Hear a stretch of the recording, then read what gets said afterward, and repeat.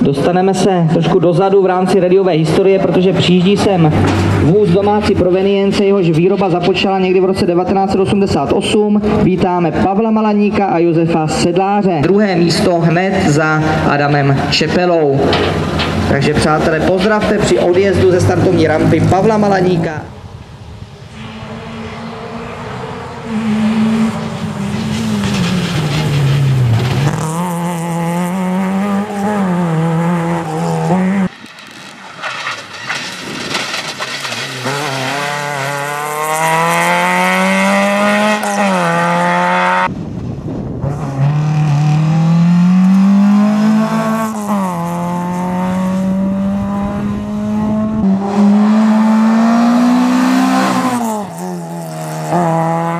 Když je